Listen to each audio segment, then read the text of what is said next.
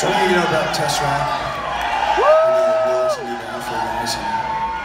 I love doing this. I love sharing music with you guys. It's like we're just one big old. And I don't really like to talk a lot in concert because I think that a lot of guys get up there and they talk so much. It's because they just they don't have the song, so they talk. I only want to tell one story. That's it, just right now for this next song. I was in Northern Ireland. I was getting ready to uh, go outside. There were a bunch of kids outside waiting for some autographs, and I'm really, I love that. I love to go out and sign autographs and talk to you guys. It's, it, it's what makes me tick going out and seeing you and meeting you.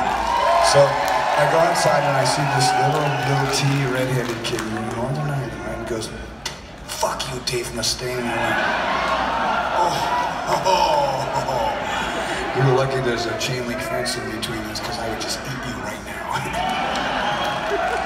What a fucking kid this big, man. I swear to God. So I go back inside and I was all bummed. I was drinking Guinness, only one. And, uh, and they said that there was somebody inside the building bootlegging t-shirts. Inside the building selling bootleg t-shirts. And I went, oh my God, you gotta go get that shit. And they go, you can't do that, idiots. They're selling t-shirts for the cause. And I said, what's the cause? And the cause is they're trying to combat prejudice religion. The Protestants and the Catholics fight. This is supposed to be some cause to make them stop.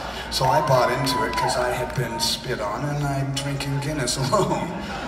And uh, getting ready to go on stage and I go, this one's for the Irish. Give Ireland back to fuck yeah, I said.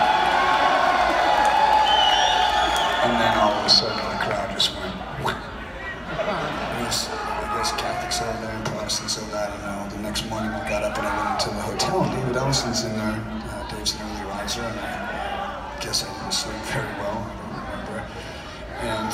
I sit down and I go, hey, wouldn't talk to. And I said, what's your problem? He goes, you don't remember what you said last night, do you? And I was like, no, I was fucking drunk. That's the point.